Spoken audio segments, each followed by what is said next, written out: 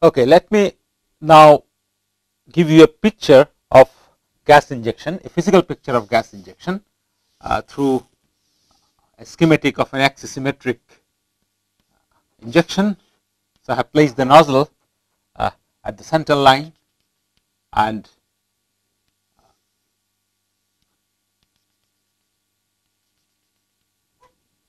this is the plume boundary and this is the axis and this represents the wall of the ladle.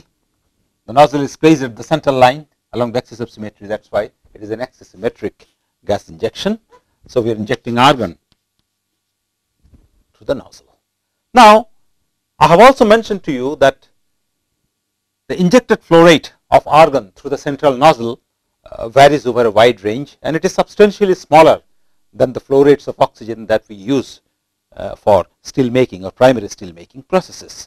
And I have given you a value of about 0.1 to 1 normal meter cube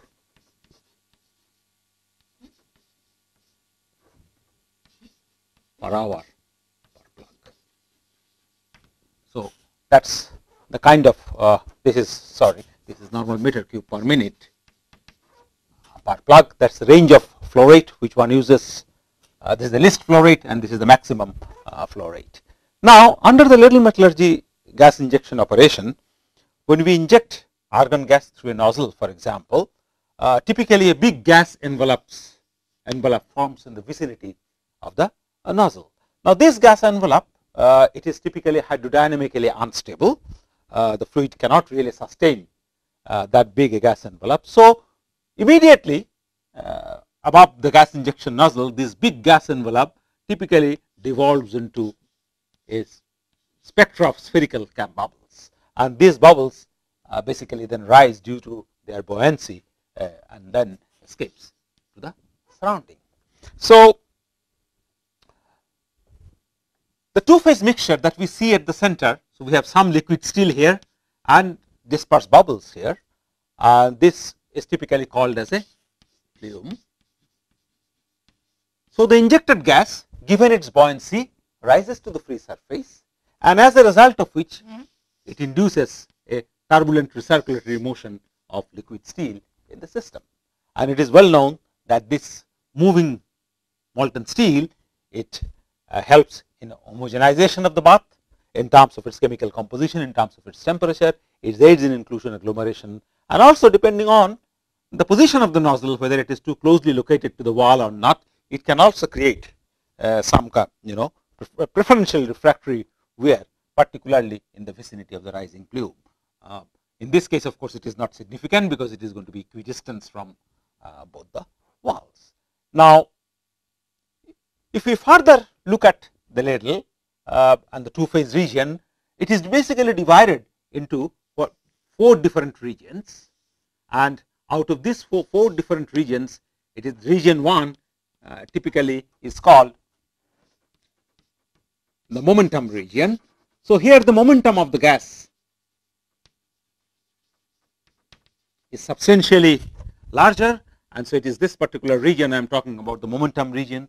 Immediately above this is a small little region and this is also uh, known as uh, the transition region and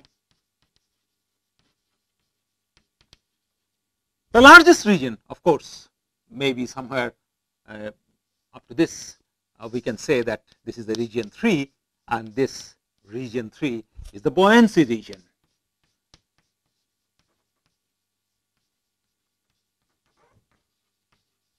and finally, we have region 4 which is the surface or free surface region.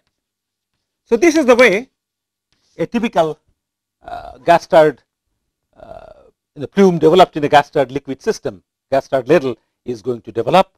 Momentum region and transition region and surface region all these three combines will barely take about 20 to 30 percent of the entire height of the reactor. On the other hand this region, the region 3, which is the buoyancy region, where we see nicely dispersed spherical cap bubbles, spherical cap because uh, the thermophysical properties of water uh, provides us that kind of region uh, where only spherical uh, cap shaped bubbles are possible. tiny, very small spherical cap bubbles or ellipsoidal bubbles are not uh, possible there because we have, you know, the standard chart or nomograms available which gives us uh, the shape of bubbles which are possible in various liquid system in terms of Eötvös number, Reynolds number and so on. So, these spherical cap bubbles which we see within the core of the liquid and the equilibriums their size are more or less governed by uh, the thermophysical properties. We of course have here a spectra of bubble. There is you know uh, coalescence and disintegration of the bubble and a dynamic size range uh, develops within this system and the size mean size range here is governed basically uh, by the thermophysical properties of the fluid gas liquid system. It has very little uh, the, the nozzle or the orifice has very little role as far as the dynamics of this particular region is concerned and that is why in ladle metallurgy steel making situation we often say that the gas injection through or the nozzle dimensions I would better say that the nozzle dimensions are not critical uh, to the characteristics of the plume and the bulk recirculation which is produced. So, therefore, under ladle metallurgy gas injection operation we can say that whether we inject gases through a porous plug, whether we inject gas through a nozzle or a submerged weir, the flow recirculation produces are not going to be critically critical uh, to the very nature of the uh, gas injection devices.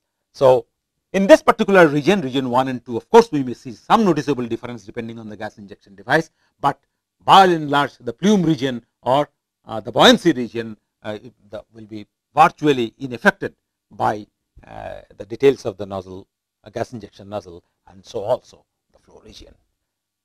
Now, the system typically is driven by potential energy and not kinetic energy as we would normally anticipate. So, it is a potential energy driven system.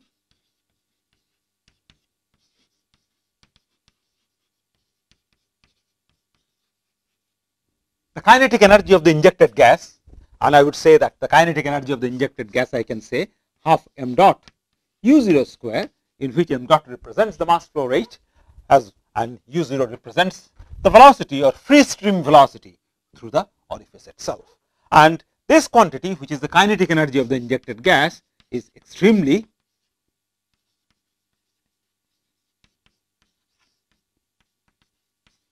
small. How small? In comparison to the potential energy, the kinetic energy is hardly 1 to 2 percentage. So, that is why we can consider that it is that is why we say that it is a buoyancy driven flow in gas ladle system and not a kinetic energy you know for example an oxygen steel making converter OBM where we have bottom blown oxygen steel making okay where oxygen is going to be introduced through a bottom tuyere that system is certainly not potential energy driven there the kinetic energy of the injected gas plays a important role uh, as far as the extent of flow recirculation is produced because the gas injection rate or the flow rate is very very large. Now, let me give you an expression uh, of this potential energy and then we will uh, try to compare uh, both the values by putting some uh, magnitude of free stream velocity, mass flow rate, etc. Now, we know that the buoyancy force by definition the system is buoyancy driven and the buoyancy force because of the presence of the gas bubble okay I by definition mass of displaced fluid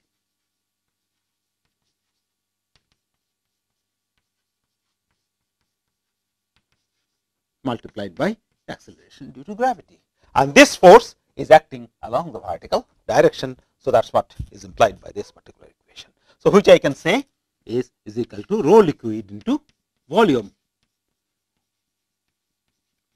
of displaced fluid. What displaces the fluid? I have a bubble. So, if in a small little volume element, if you imagine a the presence of a bubble. So, the bubble will uh, displace some fluid and the buoyancy due to the presence of the bubble is equivalent to the mass of the displaced fluid multiplied by acceleration due to gravity and I can now say by using continuity that this is equal to volume of displaced gas. So, whatever is the volume of the bubble or gas in that particular control volume. So, volume of displaced fluid is exactly equal to volume of bubble gas. This equality is termed as a principle of volume continuity. So, therefore, now the volume of gas how we can calculate let us see the volume of gas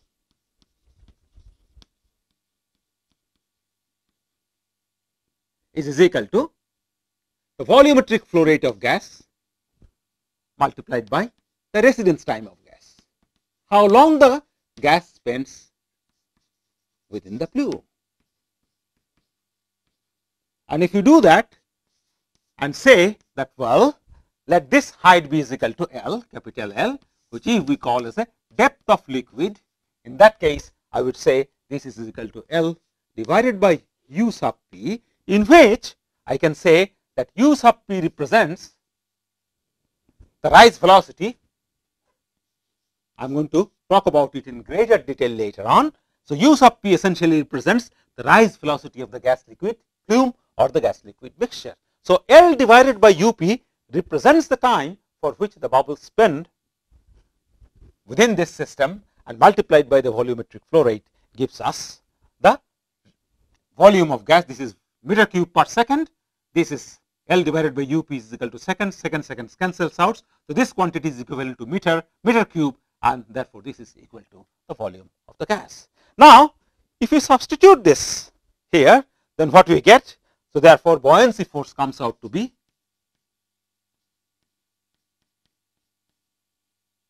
force comes out to be rho liquid, then the volume of gas is equal to Q into L by UP. This is the term within the bracket represents the volume of the glass itself. Now, if I say that I want to now find out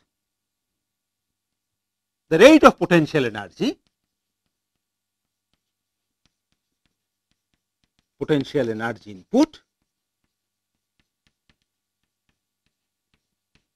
due to the bubbles. In that case, I will what I am going to do. So, the bubbles are rising with a certain velocity.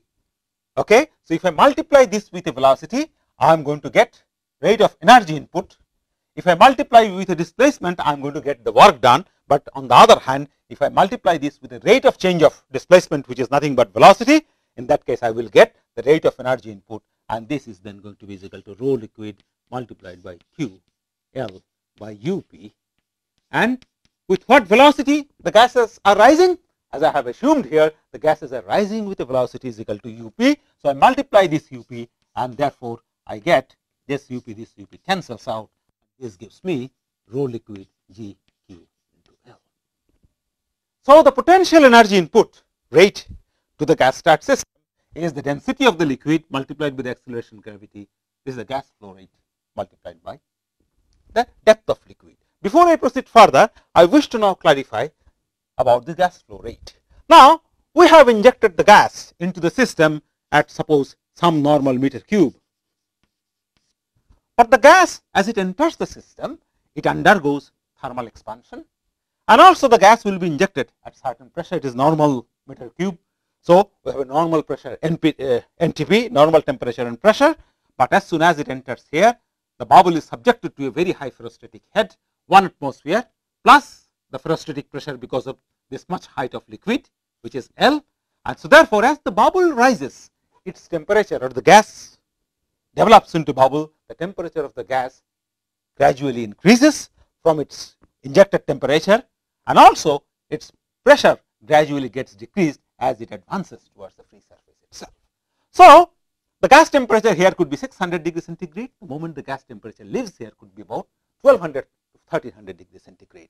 On the other hand, here the ferrostatic pressure, total pressure, atmospheric plus ferrostatic pressure is very high and as the bubble rises through the liquid, the gas, the ferrostatic pressure afforded by the bubble gradually decreases. So, as the bubble rises therefore, we can anticipate that because of the temperature increase, the bubble's volume is going to increase and also because of the pressure uh, increase also the bubbles uh, decrease because decrease in the pressure the bubbles volume is going to uh, increase. So, this pressure temperature effect are actually going to govern the net volume of the bubble. This is not the volume Suppose if I introduce a bubble which has a volume of one, suppose hypothetically saying 1 normal meter cube at this particular point, as it is advancing or rising through the molten molten steel, its volume is not going to be on 1 normal meter cube. Okay, its volume is going to be bigger than that because of the combined effect of pressure and temperature. So, therefore, in this analysis,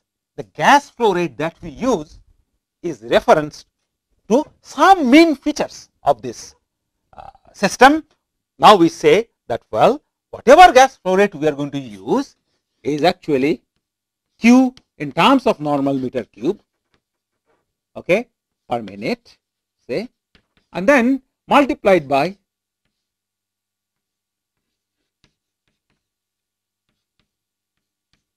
and then we say it is, equal to uh, 1 atmospheric pressure. So, P is equal to 1 and this is equal to P plus P1 plus rho GL into. I have taken L by 2 to tell to state specifically that the pressure reference pressure because volume is not defined unless I categorically mention the pressure and the temperature. And I am saying that well the gas in this system immediately attains the mean bath temperature which is 1873 degree centigrade and this T is the normal temperature. So, this is actually equal to 298 273 plus 25 degree centigrade normal temperature and pressure. So, it is 1 atmospheric pressure okay and this is going to be uh, pressure uh, sorry this is going to be actually other way around this is P plus 1 rho liquid G L by 2 because the volume is going to be inversely. So, this is the pressure we are talking about at the mid bath radius position and this is the pressure is the corresponding to the normal pressure which is about 1 atmosphere. So, this term is equal to 1 atmosphere plus the corresponding uh, atmospheric pressure uh, translated in terms of the mid bath depth which is nothing but. So, the gas flow rate that I am using in this particular formula is therefore, I will say with respect to or it is converted to the mean temperature and pressure of the liquid. Mean temperature means it is the 1600 degree bath temperature, mean pressure means the total pressure at this particular point which is equal to 1 atmospheric pressure plus rho g L by 2. So, if I use a corrected gas volumetric flow rate which is reference to the mean temperature and mean pressure of the liquid, I am going to really experience the net potential energy which is supplied. If I work out the potential energy supplied on the basis of normal meter cube, it is going to be considerably under predicted because my analysis would not have taken into account the expansion of the gas volume because of the reduction in pressure as well as increase in temperature itself. So, it is a very important point to note at this particular point that the flow rate volumetric flow rate that is used in this formula is actually a, a, a, gas flow rate which is corrected to mean height and temperature of the liquid. Now, if we substitute the values for example, in industrial system rho liquid is 7000 kg per meter cube, G is equal to 9.81, Q this factor will come out to be 6 5 to 6 times multiplication factor will is going to come out here.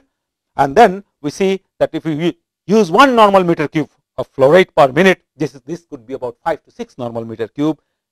L or the depth of the liquid in industrial system is about 3 meter. And if we substitute these values together with the potential energy values it can we can immediately show that indeed the kinetic energy supplied by the gas injected gas is barely 1 percent of the potential energy afforded by the rising bubbles to rise through the system itself. So, it is basically one can carry out simple expression and one can on the basis of this show that it is a potential energy driven system.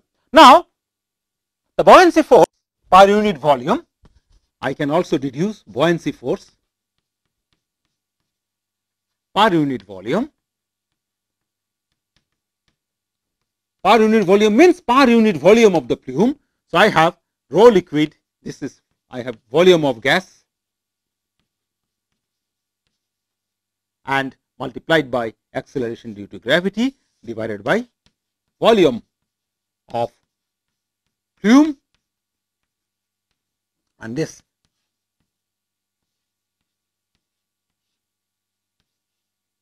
in which alpha average represents the average gas fraction. In fact, we have some gas, very high gas concentration at this particular point, maybe 80 percent, 90 percentage. On the other hand, we have you know dispersed bubbles here, the gas volume fraction, because the plume expands.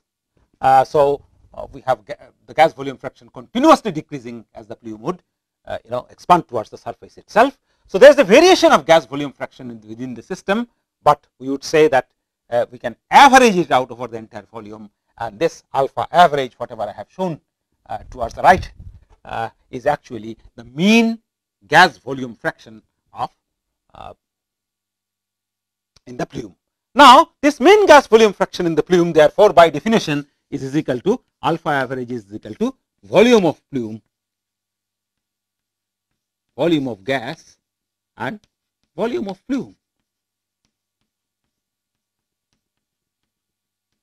Now, volume of gas I have already given you the expression and if I assume that well this plume is roughly conical in shape okay in that case I can say this is going to be is equal to 1 by 3 pi r e square L. What is r e square? Then r e square is exactly equal to the radius of the plume i. Okay? And if I take the value of the volume of the plume as this 1 third pi r e square L, calculate the volume of the gas on the basis of this formula, I will find out that the average gas volume fraction here is barely 5 percent. So, it is a very important deduction and a very important point for us to remember that the gas volume fraction within the two phase region is actually uh, very very small quantity 5 percent of this region is occupied by argon bubbles and remaining. So, given this picture we can now conceptualize the gas injection phenomena that it is like an unconfined jet okay? Because the gas volume fraction is very very small. It is rising through a very deep bath. The bubbles are not going to see the walls. They are not you know they are located far away. So as if it is uh, you know uh, an unconfined uh, liquid stream of bubbles which are rising through or a buoyant plume which is rising through and the energy is transferred to the molten steel bath across the boundaries itself. So, all along this because of the buoyancy itself energy is going to be continuously transferred the bubbles are going to give rise to their energy give give away their energy to the fluid while they leave the system the fluid will keep on recirculating thereby generating a strong convection current in the system itself.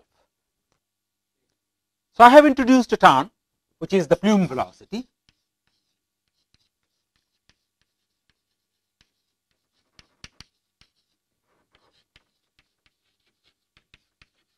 This plume velocity essentially implies the rise velocity of the gas liquid mixture. I have gas plus liquid here. So, so the average rise velocity of the gas liquid mixture.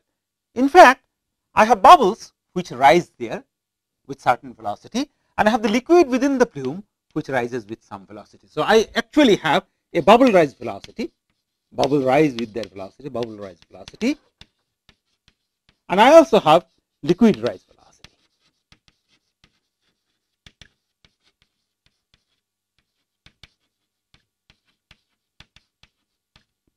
Typically, the bubbles rise faster and the difference between the rise velocity of bubble and liquid is termed as the slip velocity. So, the bubbles rise accelerate faster, rises faster, the liquid follows it and together we can conceptualize of an average velocity of the gas liquid mixture which we term as an average uh, call it a plume rise velocity. There is another important parameter which is like we denote by mean speed of liquid recirculation, mean speed in the system mean speed of liquid circulation.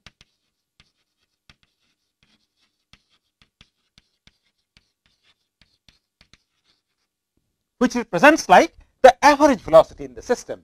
Now, for example, I have an object where I, I can have say I divide it into four segments. Here there is 100 and 100 degree centigrade temperature, 200 degree centigrade temperature, 300 degree and I say that well there is a difference in temperature, but nevertheless I can ascribe a average.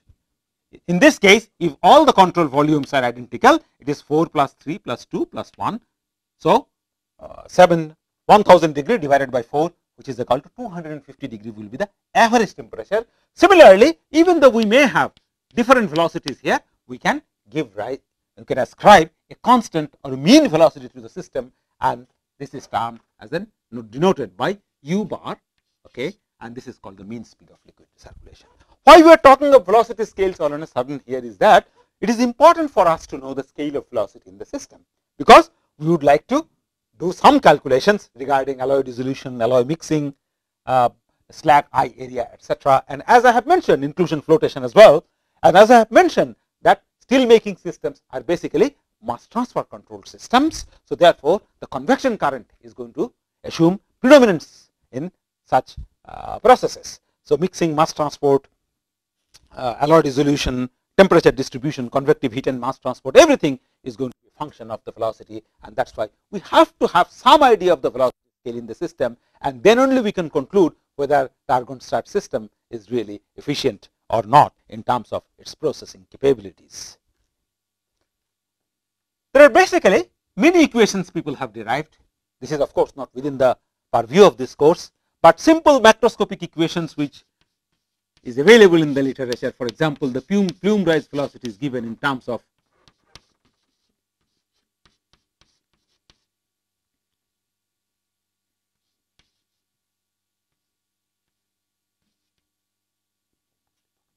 one by 3 and similarly this is in SI unit and mean speed of liquid recirculation for example is given also q raised to the power 1 by 3 L raised to the power 1 by 4 and minus 0.8.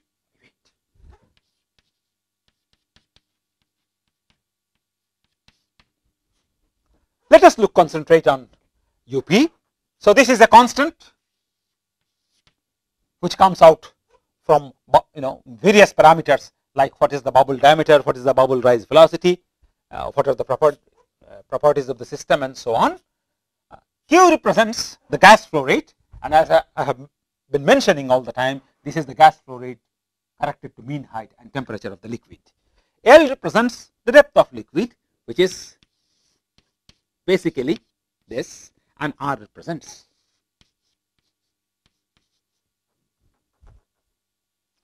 as the formula suggests that the plume rise velocity or the average velocity rise velocity of the bubble and the liquid mixture will increase th as third power of the gas flow rate. It will increase also relatively weakly as depth of liquid, but it is going to decrease with the vessel radius. So, therefore, for a given flow rate and given liquid depth, the more is the diameter of the vessel, the less is going to be the convection current or the plume rise velocity in the system.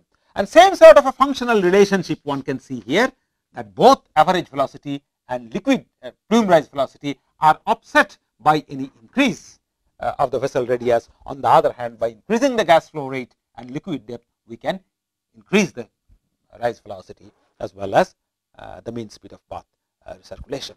Now, typically these are under the ladle metallurgy steel making conditions. These correlations cannot be really applied a very large uh, flow rate situation in which the gas injection rates are very very large or the bath is extremely shallow or extremely uh, you know tall vessel. So, these are not the conditions typical under typical ladle metallurgy condition only these equations uh, hold good. Now, therefore, a taller vessel is going to give rise to more convection current. Now, imagine we have said that potential energy input rate which is typically denoted by epsilon dot is, equal to rho liquid G Q into L. And this tells tells us that look if we increase the gas uh, volumetric flow rate or if you increase the depth of liquid for any given system when rho L is constant the rate of energy supply is going to be increasing okay and it is because of that more energy means more rate of recirculation and that is being reflected in this particular formula as well. There is another term which is also important for us which we will use is the energy input rate per unit mass. So, this is energy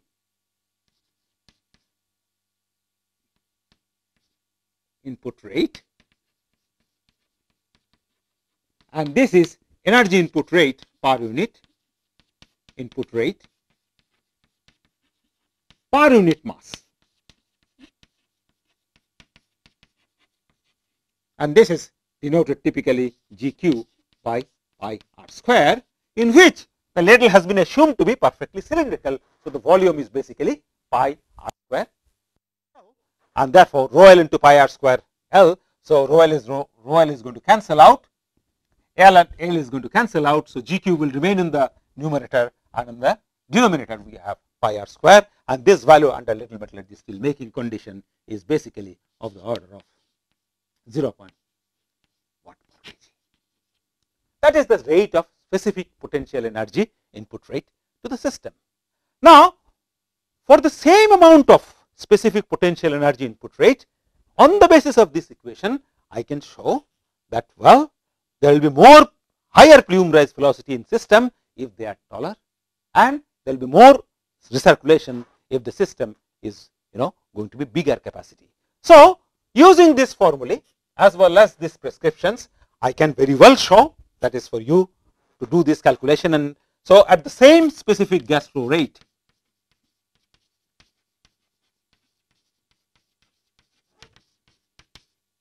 specific flow rate or energy input rate same energy input rate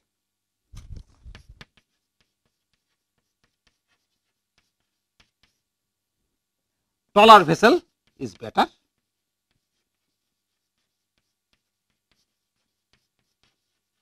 Higher capacity vessel is better.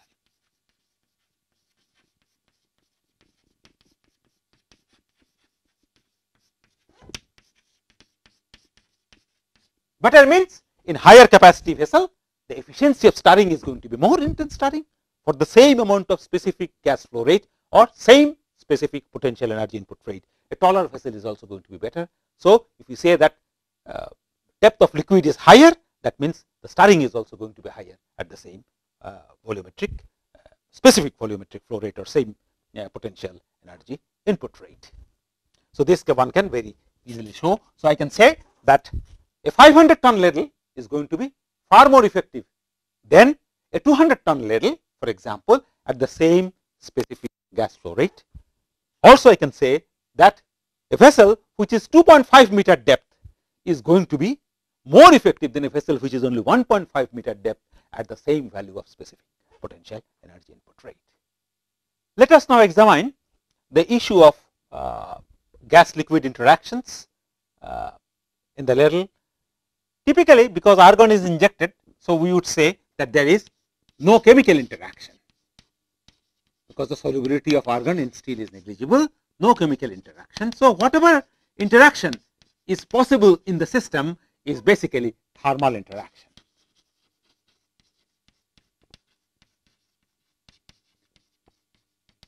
So, this is significant for us thermal interaction.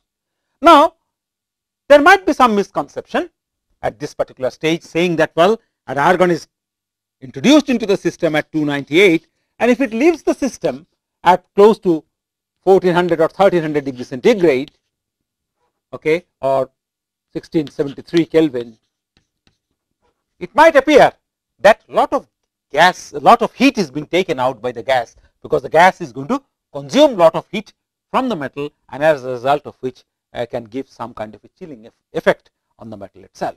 But simple calculation can show that the rate of temperature drop of the melt because of this rise in gas te uh, uh, gas temperature is really not significant. For example, okay, if I write down the balance that uh, heat taken up by gas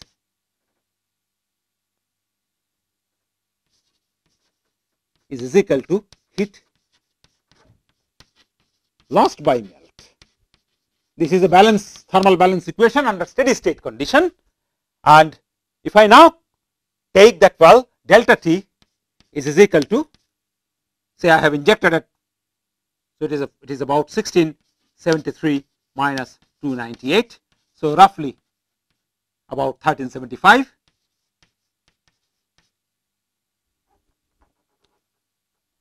Kelvin if I say that the well my gas flow rate is something like uh, say 1 nm cube. per minute uh,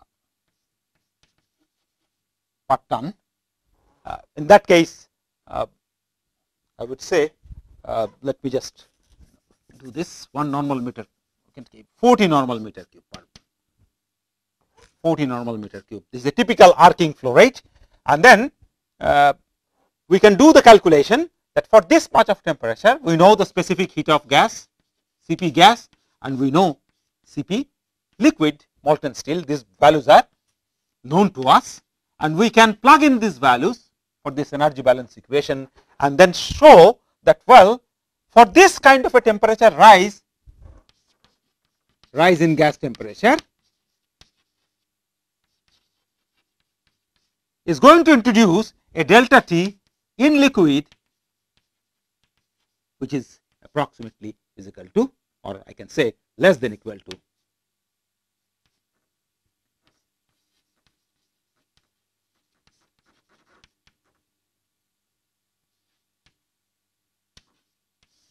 an insignificant drop in temperature. Simple calculation mCp dt I can do and write down the balance equation using the data.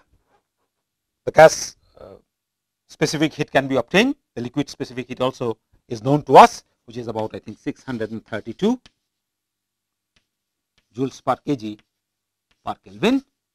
Uh, this is a value of I think 0.5 if I remember correctly. And if I substitute the value, I should be able to find out that because of this much and why is this difference occurring? The difference is occurring because of the density of liquid is significantly smaller than the density of the gas. While it is 7000 kg per meter cube, this is barely 0.1 or 0.2 and therefore, this large difference actually does not cause a noticeable extent of temperature drop. So, the gas even though it is going to be heated up to 1400 degree centigrade, it is really not going to uh, take much heat from the melt itself. In fact, the heat loss through the free surfaces,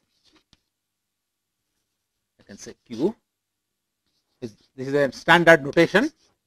So, all this through all these surfaces, heat is going to be lost and the loss of heat, this loss of heat through the surface of the ladle free surface as well as the bounding walls through refractory line walls of the ladle is going to cause actually noticeable amount of drop in the melt temperature itself. And I think I have given you the value that actually for for holding due to this heat fluxes prevalent through the wall refractory wall as well as uh, the slag lined uh, free surface uh, the drop in temperature of the melt is of the order of 0.5 degrees which essentially means that if we gas stir a ladle for about 30 minutes, there will be 15 degrees of drop because of loss of heat uh, to the surroundings. On the other hand, in that particular time, we may have 0.3 degree, uh, 0.3 degree drop because of uh, the heat which is consumed by uh, the rising gas. So, therefore, we can conclude that uh, the injected gas even though it is cold it is heated up to about 1400 degree centigrade due to its low density and low flow rate, uh, the loss of heat is uh, from the melt is going to be insignificant in comparison to the loss uh, because of heat going out of the system to the surrounding through the free surface as well as the wall. Now, we can talk about uh, the slag cover in the system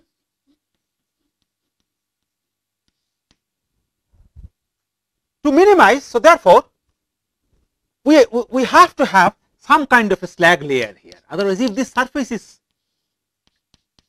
exposed, the drop in temperature could be significantly larger because this surface is at 1600 degree centigrade and you know that the radiation loss is proportional to delta theta raised to the power. I would not say delta theta, I would say theta 1 to the power 4 minus theta 2 proportional to.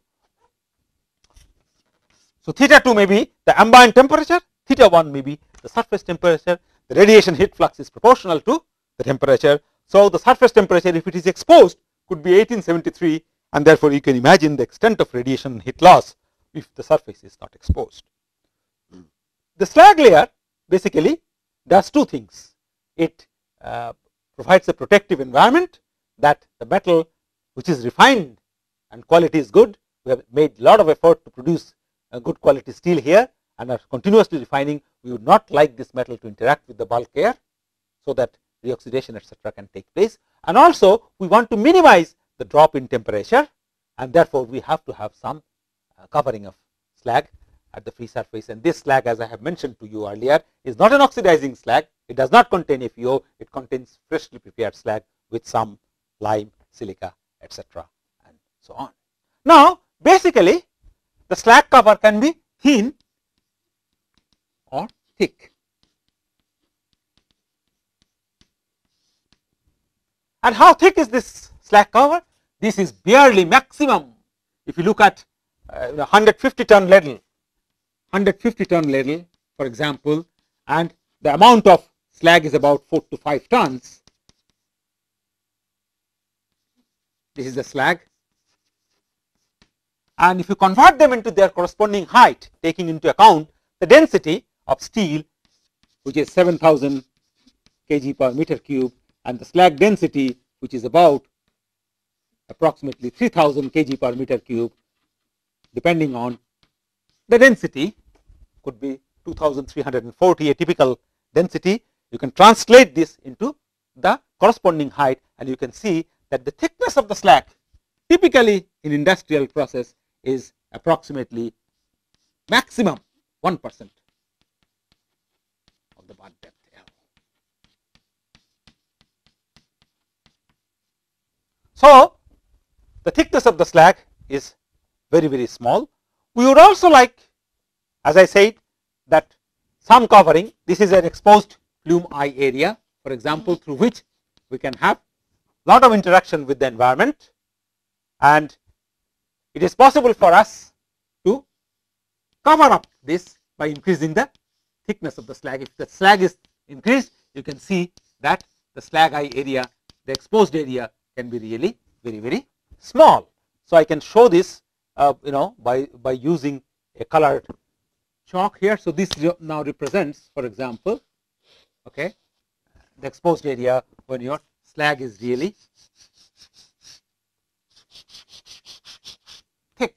So, by using a thick slag it is possible for us uh, to cover a portion of the uh, slag itself and thereby minimize the interaction of molten steel with the surrounding atmosphere itself. And when you are talking of thick slag, the thick slag we are talking about this is thin and thick slag we are talking about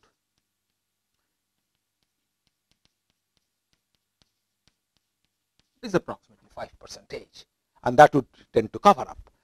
So, thin slag as I have mentioned is barely 1 percent of the entire bath depth. On the other hand, the thick slag is going to be about 4 to 5 percentage, but most of the industrial processes, ladle metallurgy processes employ a thick slag, a thin slag. Now, if I use a thick slag, for example, I can show that it is possible under that condition to really cover up the entire plume eye itself. So, this represents an extremely thick slag whereby the plume eye can be uh, com completely submerged under the slag layer itself. And this height we basically is we say this is the dome height h sub d or which is equal to now the delta sub. So, this is the eye height or the dome height and this dome height now becomes exactly equal to the thickness of the slag itself and under such condition if you look at the figure the eye is now the plume is now completely submerged and there is very little scope uh, for the surrounding atmosphere to interact. No, this is now not possible because the surface is totally covered. So, under that condition we can see we can also write that well this is the axis and at this axis what happens the potential energy okay because of the raising if you if there is no gas injection this surface which is raised up by h sub d will immediately fall down and the entire bath depth will come.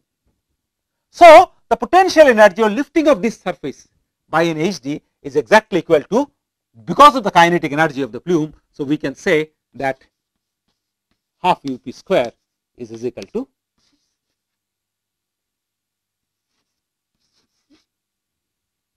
So, this is an expression energy balance kinetic energy afforded by the plume is exactly equal to the potential energy because of lifting of the surface by d and therefore we can say that h sub d is equal to up square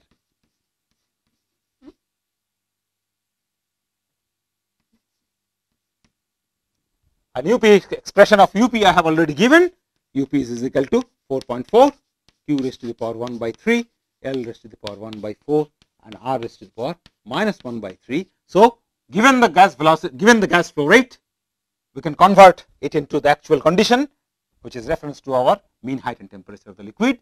We can use the depth of liquid in the system radius of the vessel calculate the plume velocity in SI unit substitute it here and then calculate that what is the dome height and then set it to be equal to delta L and find out that what should be the thickness of the protective slag layer which can really uh, cover up the entire dome thereby minimizing the uh, chances of interaction between the melt and the upper ambient atmosphere. Now, this slag eye is a very important aspect of secondary steel making operation. We are gradually closing down now on various aspects of inert gas injection. Uh, the slag eye area for example, is a potential site of reoxidation okay? and particularly towards the final stages of ladle uh, rinsing operation or argon stirring operation we want to homogenize the bath, mix the bath. I am going to talk about mixing which is very important in the context of Ladle metallurgy uh, within the next few minutes. Uh, so, during the final stage of uh, Ladle metallurgy operations when we are injecting the gas at a very slow rate uh, 0.1 normal meter cube uh, per minute per ton Under that condition we will really like to see that there is not much interaction with the atmospheric uh, oxygen.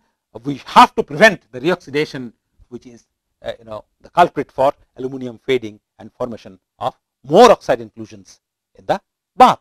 So, therefore, uh, to minimize that we will have to have uh, a uh, the process should be regulated in such a way eye area remains uh, very very small. Now, the exposed eye area area of the plume area of the eye to area of the plume is equal to roughly is equal to we have a constant alpha beta then we have up square by g delta L raised to the power 0.5 and then we have rho L divided by delta rho. The density differential and the plume rise velocity gives us you know um, the, determines the ratio of the eye to the ratio of the plume because you can always see that sometimes you can see that the slag is here okay the slag for example is here and the plume is somewhere the slag is pushed to such an extent that actually this is the eye area that we are talking about and this is the area of the plume that we are uh, using in this particular formula. So, there are two areas here and this tells us that the eye is actually and AP. So, because the flowing liquid radially flowing liquid, the liquid goes like this, it comes like this. So, it has been able to push this slag layer, this is the slag layer, it puts this slag layer and as a result of which uh, we are creating a bigger opening than actually the uh, area exposed. Uh, so, therefore, we can say that the eye area is bigger than the plume area under that particular condition and we can have an equation like this which tells us that the thickness of the slag layer, the plume rise velocity and the density of the slag are critical parameter in determining that how much of area is going to be really exposed and thereby we can say that whether there is going to be significant amount of reoxidation or not in the system. One of the inert objectives of inert gas stirring is to enhance mixing in the system. As I have mentioned that we would like to induce velocity all the time, we want to transfer, transport sub species from one position to another position and facilitate reaction reaction between the various species. We can also think of transporting the product, moving the product from the reaction sites and all these are going to be aided by uh, a strong convection current which is going to be prevalent in the system. We also may have we have different temperatures at different regions and we may do gas stirring.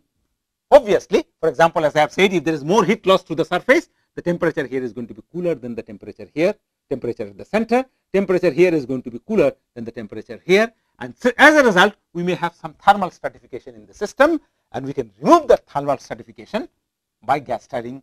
So, which does some amount of thermal mixing.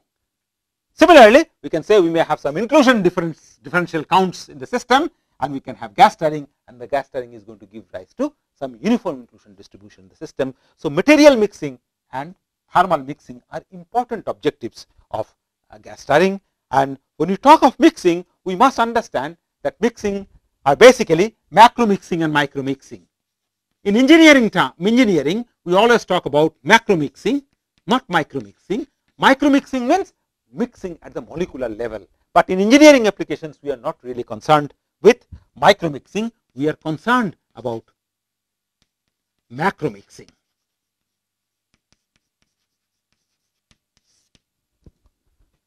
What are the mechanisms of mixing? The mixing is aided, macro mixing is basically due to flow and turbulence.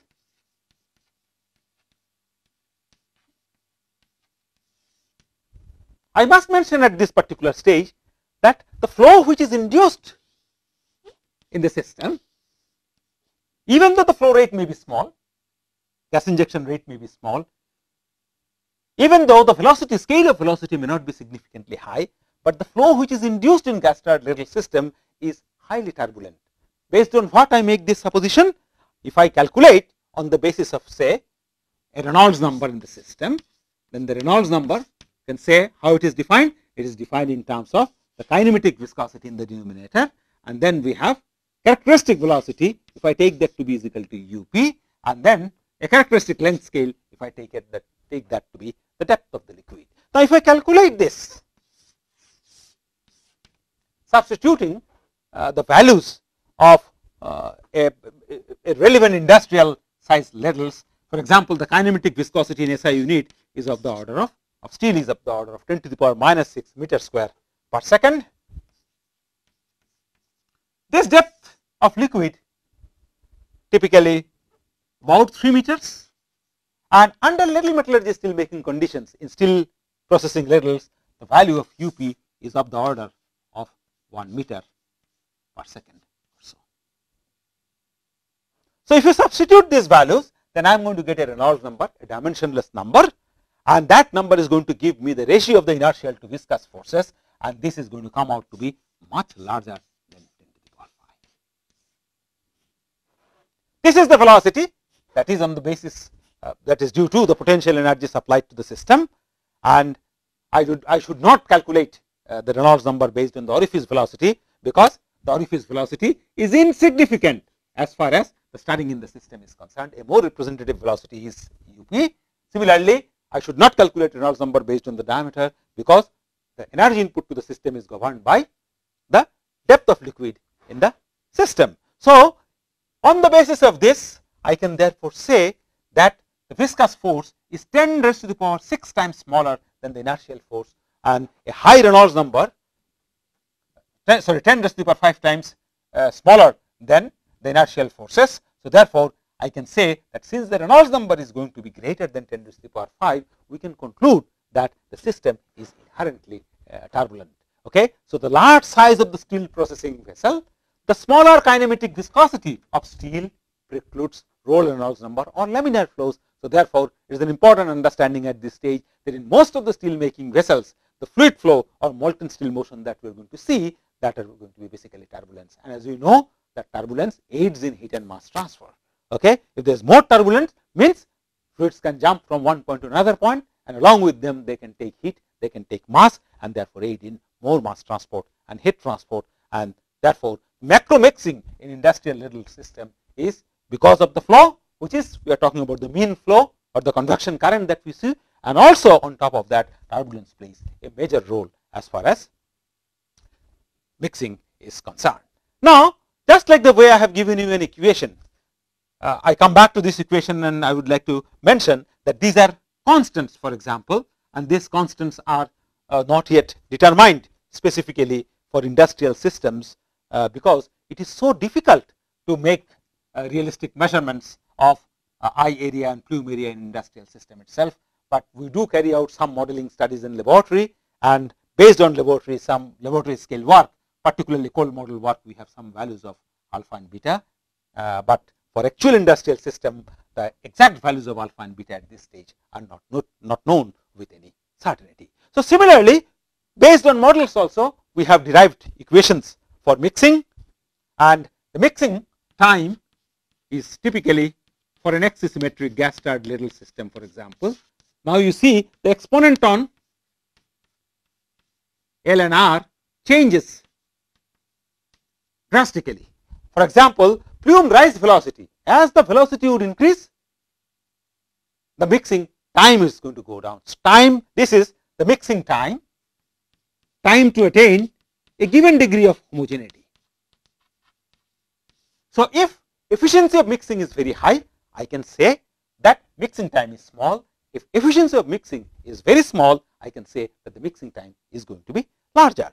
So, the time to reach a certain degree of homogeneity, how much mixed? 99 percent of it is mixed or 95 percent of it is mixed. So, I can say that 95 percent mixing time or 99 percent mixing time. It is a constant and this equation is again in SI unit is q raised to the power minus 1 by 3. So, an increase in gas flow rate will increase in velocity, but decrease in mixing time because as the intensity of flow increases the efficiency of mixing increases and as a result of which mixing time goes down. Similarly, if vessel is more tall, the dip is liquid is very deep. In that case, there is going to be more energy input rate. So, there is going to be more stirring. So, as a result of which I can expect that the intensity of mixing is going to be large and as a consequence, I would say that the mixing time is going to be shorter and similarly, when the velocities are proportional to r raised to the power minus 2 minus 2.3 etc. In this case, you see that the exponent on r is positive, which essentially tells that a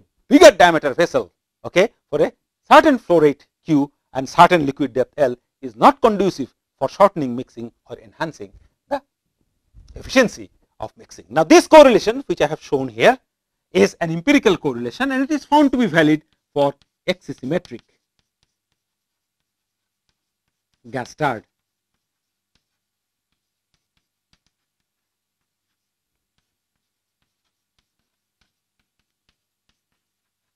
So, there is a single plug located at the center of the vessel and for that particular case with negligible amount of slag. There is no slag layer here. You see, I do not have any parameter like this. So, I would say in the absence of any slag, this is the correlation which people have found to work. Again, I repeat that this correlation, this sort of a correlations are really derived from model studies because it is so difficult to carry out high temperature experimental observations in steel making operation.